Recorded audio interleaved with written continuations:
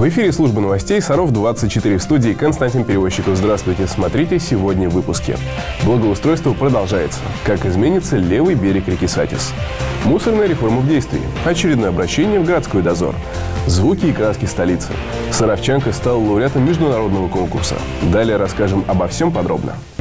Уже больше двух месяцев идут работы по благоустройству левого берега реки Сати. С генподрядчиком выступает смоленская компания «Причал». Стоимость контракта составляет чуть больше 29 миллионов рублей. Благоустройство набережной должно быть завершено к середине ноября.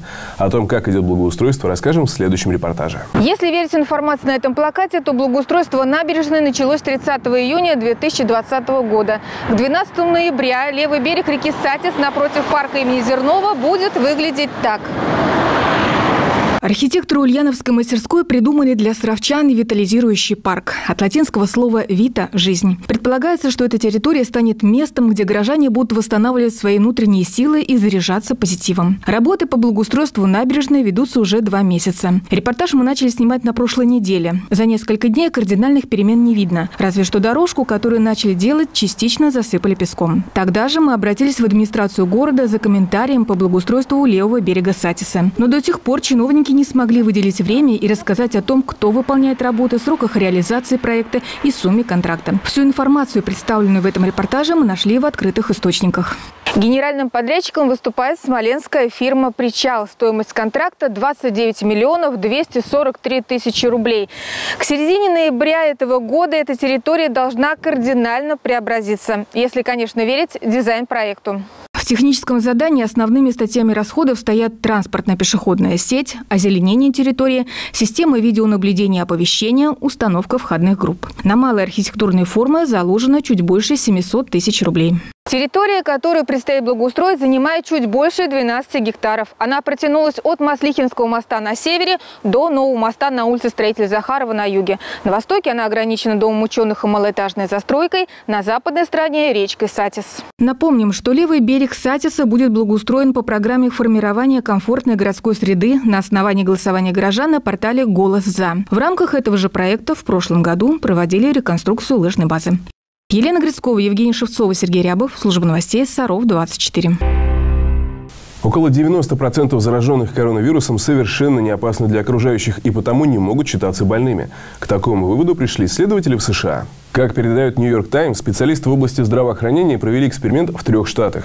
Они установили, что стандартные тесты на COVID-19 определяют заражение в том числе у носителей незначительного количества вируса. Маловероятно, что такие люди могут заразить других, считают ученые. Чтобы выявлять настоящих больных, эксперты предложили сократить число циклов для определения инфицированных при ПЦР-диагностике.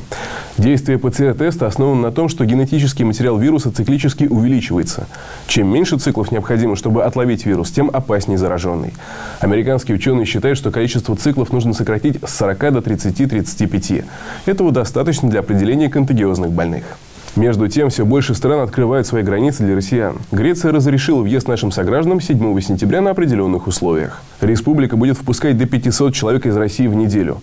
У них должны быть справки об отсутствии коронавируса, полученные не позднее, чем за 72 часа до отправления, и ваучер с подтверждением брони номера в гостинице. В России подтверждено еще 4952 новых случая заболевания, из них 147 в Нижегородской области. В Сарове за сутки выявили 7 больных. Из тех, кто госпитализирован, 20 человек находятся в состоянии средней степени тяжести.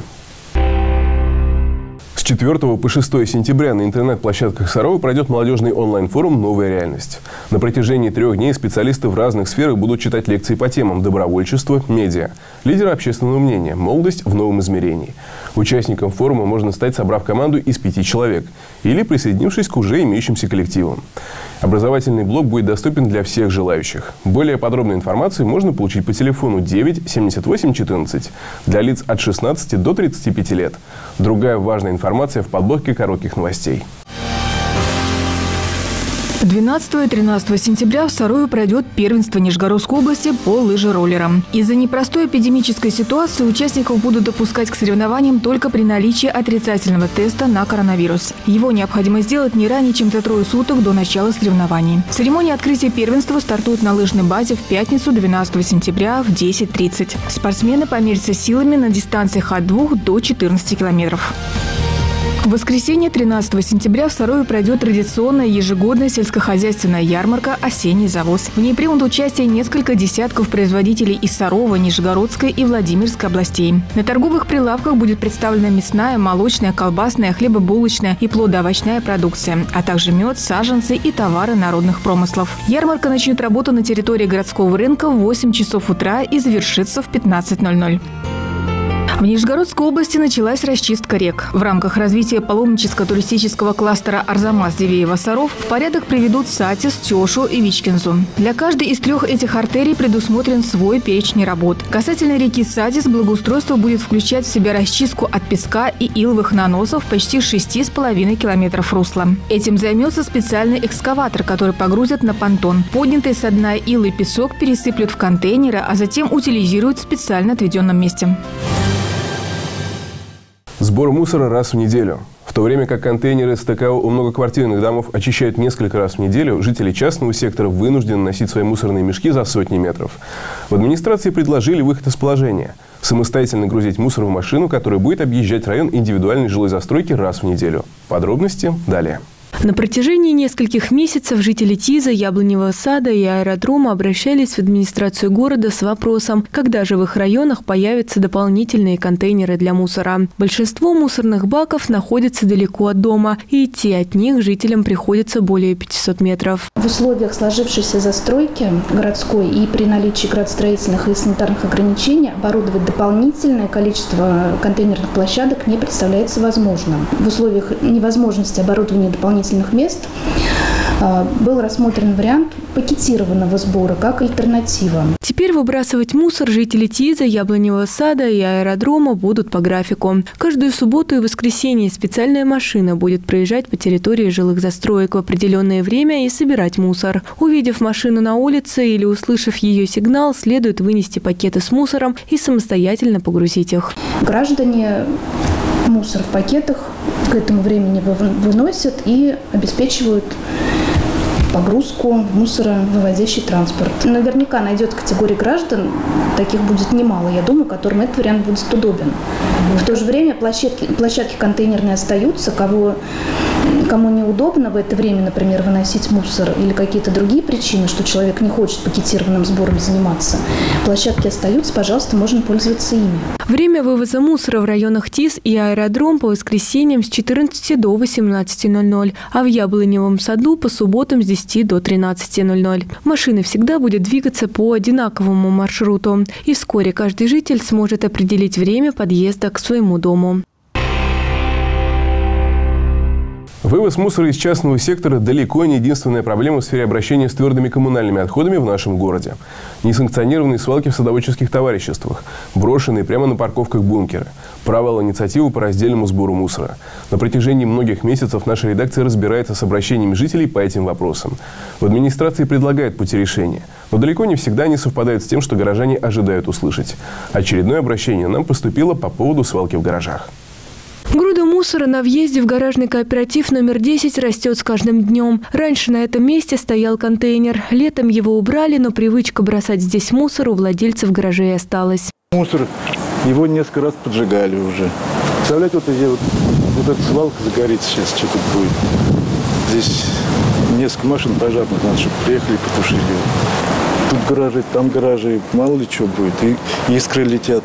В администрации города нам сообщили, стихийная свалка растет из-за того, что пока не ясно, кто отвечает за уборку мусора на территории кооператива. Вопрос обещают решить уже в ближайшие дни. Выйду на место, определим, э, на какой территории, на чьей земле находится эта свалка, и уже в дальнейшем мы тогда решим вопрос. В зависимости от того, на чьей территории располагается этот мусор.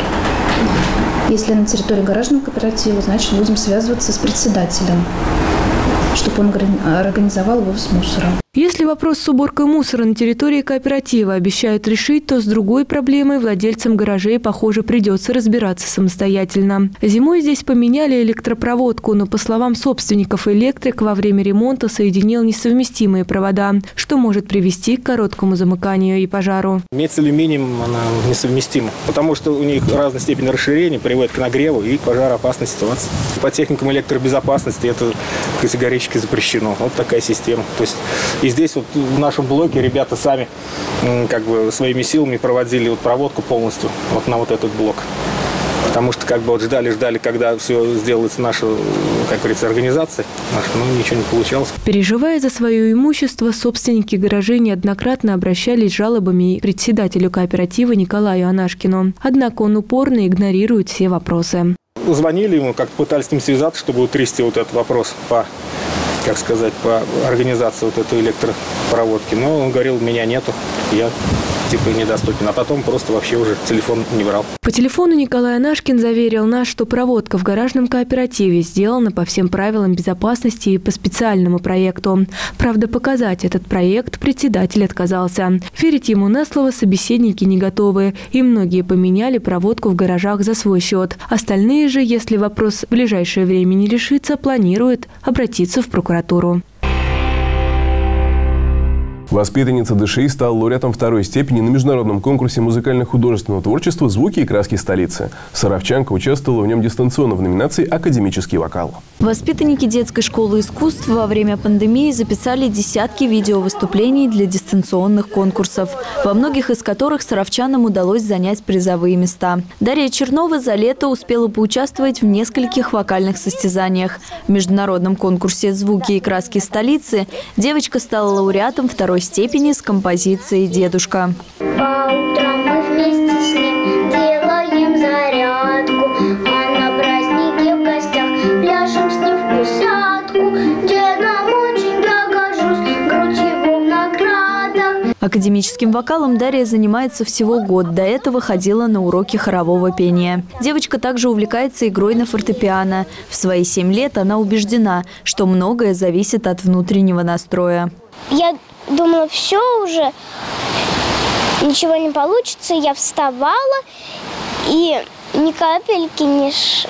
ни шагу назад я себе говорила только вперед и только вперед. Жюри конкурса поблагодарила педагогов Дарью Кварту и Ольгу Рыжову за подготовку Дарьи. Оценила выбор репертуара и наряд юной вокалистки. У нее очень хороший слух, ну вообще данные хорошие. Конечно, голосок пока маленький, она сама еще маленькая. Она всего лишь год проучилась. Советовали еще работать над дикцией, но в принципе она только начала, так что еще все впереди. В детской школе искусств вовсю готовятся к возобновлению очных занятий. В ближайшее время руководство подготовит расписание, и юные таланты приступят к обучению. В Сарове стартовал традиционный фотоконкурс «Краски лета 2020». Участники могут представить свои работы по нескольким номинациям. Сдать их нужно до 11 сентября. Подробнее о конкурсе расскажем в следующем репортаже. Сегодня, чтобы быть фотографом, не нужно специальных приспособлений. Камера в телефоне всегда под рукой, и у многих в фотопотоках хранится немало интересных кадров. Чтобы эти снимки увидели мир, традиционно в начале осени сотрудники станции юных техников предоставляют такую возможность. Они проводят конкурс «Краски лета». В этом году работы принимают по нескольким номинациям «Пейзаж», «Портрет», «Жанр», «Дары лета», «Загадочный мир животных», «Зеленая планета» и «Лето – это маленькая жизнь». Сами номинации, они подсказывают, что должно быть в этой тематике. То есть, если это «Зеленая планета», то это как раз экологическая тема. Если ми загадочный мир животных, здесь могут быть изображены и насекомые, и птицы, и животные. Вот. А жанровые фотографии – это вообще свободная тема, и здесь можно такие интересные как бы по содержанию фотографии представить. Конкурс «Краски лета» сотрудники станции юных техников проводят более 10 лет. Здесь совсем не важно, профессионал вы или просто любите фотографировать. Главное, чтобы снимки были качественными и передавали атмосферу места. Учащиеся образовательных учреждений города, учащиеся начального и среднего профессионального образования.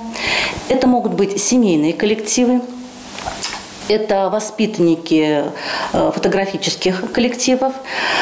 А, то есть мы достаточно большая такая аудитория, которая может принять участие в данном конкурсе. Творческие работы могут быть цветными и черно-белыми, формата А4. Фотографии в станции юных техников принимаются до 11 сентября. Работы победителей отправят на следующий этап конкурса в Нижний Новгород.